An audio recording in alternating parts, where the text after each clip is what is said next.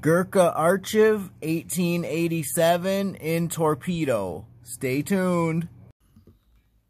Welcome to Cigar Perspective. I am David, and today we are going to take a look at the Gurkha Archive 1887 in Torpedo, the 6.5 by 52.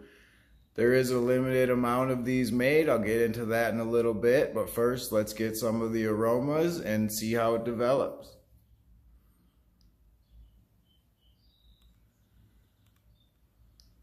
It's kind of an interesting, it's like uh, outdoor spice, kind of like when you're by the lake, like be, being at the beach by the lake, like a lake water manure kind of aroma. Very interesting. So it's like manure, lake water, beach, outdoor spice aroma.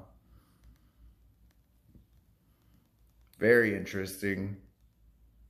All right, let's get it cut up, introduce the flame, and see how it develops today. All right, so right off the bat here, sort of not super open draw like I'm used to on a lot of them recently. A little bit tight, not too bad.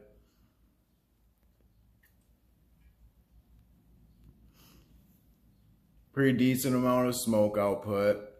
I got it a little bit too crooked today, I think, but that's all right. It'll be fine.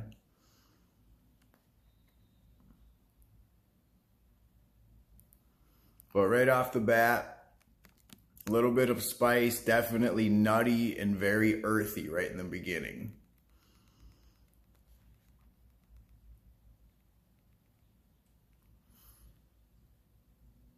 Pretty good draw, good smoke though. The draw's a little tight, but good smoke output for having a little bit of a tighter draw. But definitely a lot of earth right in the beginning. And it's definitely very nutty as well.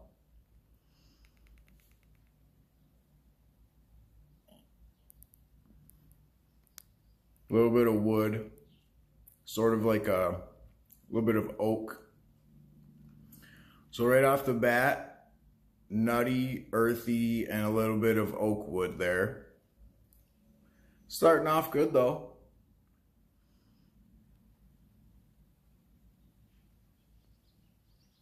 Now this is a 90 rated cigar. There are, it is limited. There was only a thousand boxes of the torpedo made, so it's not just endless ones of these. Kind of interesting. Um, the wrapper is Connecticut Maduro, six year aged. The binder is Cameroon, and the filler is Nicaraguan and Dominican.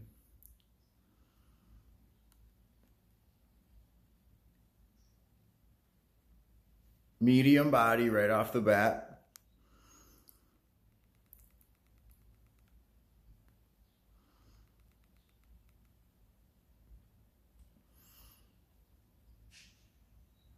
But great start. Let's see how it develops and I will be back in a little bit.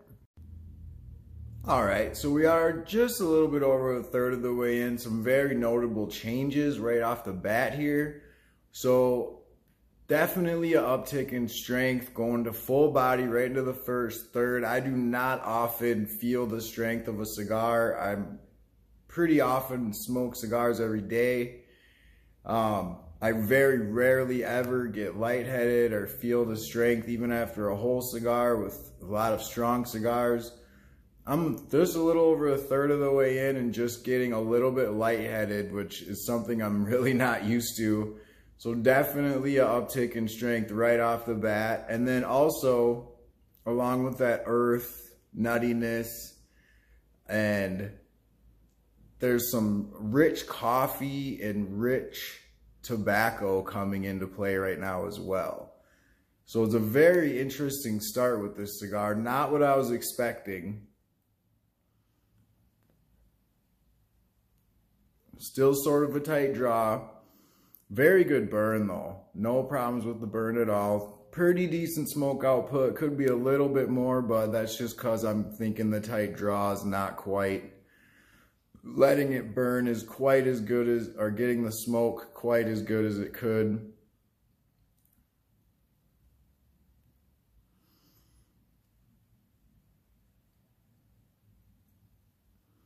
But very nutty, earthy, oaky, and now the rich coffee and the rich tobacco coming in with full body, full strength. Not quite a long finish on the end, probably. It's more of a medium finish. It doesn't hold, it holds a little bit after you exhale, but not real long.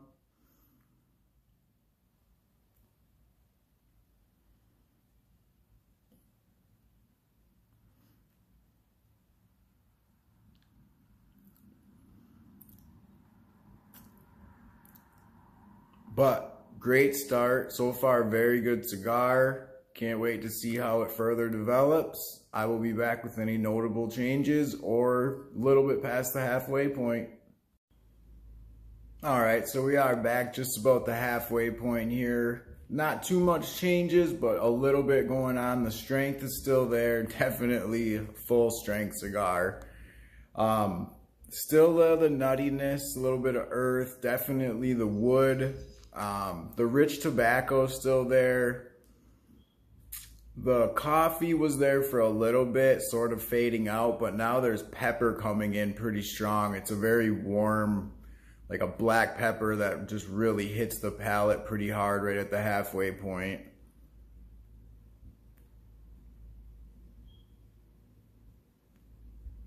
Draw is still pretty tight. It's like medium, not open, but not real extreme tight either, but not the easiest to draw through.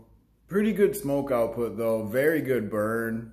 The ash holds on pretty good, flakes off a little, but overall, it's been a good cigar so far. The smoke is a little bit, it's one of those cigars that has more of a warm smoke as well, kind of warm.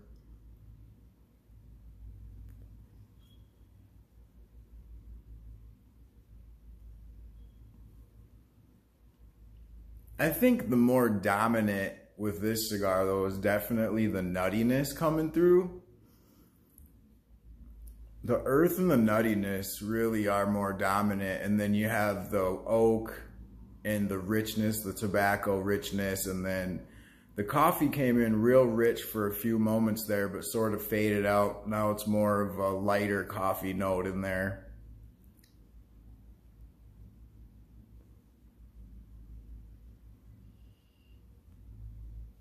But again, really not what I was expecting out of this cigar. I'm actually quite surprised.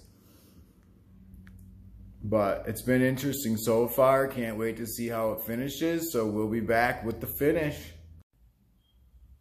All right, so we are finishing up this cigar here, just getting down, just past probably the final third. This was a pretty good sized torpedo.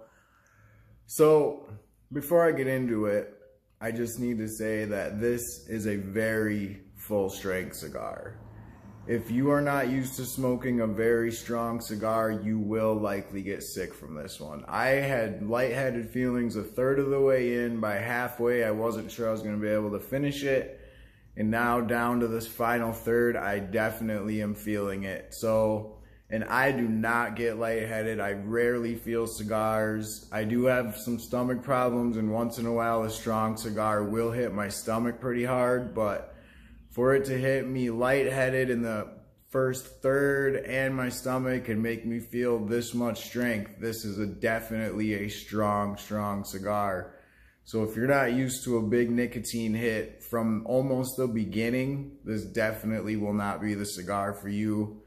I mean, it's great. It's nutty. It's earthy. It has wood, uh, coffee, rich tobacco, pepper. I mean, there's so many good notes. It's very enjoyable, but it's very, very strong. So just keep that in mind if you're going to give it a try that you might run into one of the strongest cigars you may have ever smoked with the Gurkha Archive of 1887.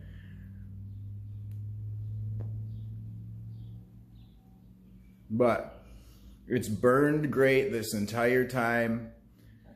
Little bit of a tight draw. Um, pretty good smoke output. There has been a few points where it wasn't the best, but overall good smoke output, good draw. Well, pretty good draw, I should say. Little tight, but great burn. A lot of good notes.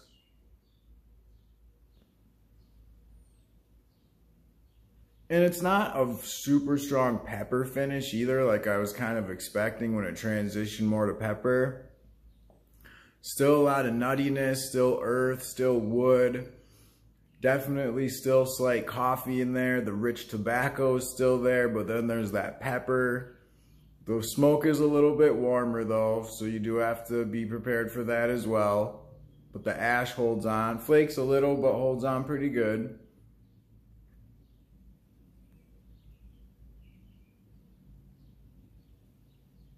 But I do recommend this to someone who, or to the people who smoke more cigars or maybe more used to more of a nicotine hit. If you're not used to it, this cigar may knock you back. So I'm going to give this cigar a 7 out of 10. It was very enjoyable, but very strong. You can see my hands kind of shaking a little bit there. It is definitely strong. I am not used to, I mean, and I smoke strong cigars a lot, but this thing is strong. So I'm going to give it a 7 out of 10. I did enjoy it. Good cigar overall. Just very strong. Going to recommend it to more of a seasoned smoker unless you are a newer smoker that can handle a pretty big nicotine hit from the beginning basically. But I hope you enjoyed, guys and gals. I really hope you enjoyed this review. I had fun. I've never had this cigar. It surprised me in many ways. I was not expecting a lot that happened with this. So it was a great review. Until next time, be safe and have a great day.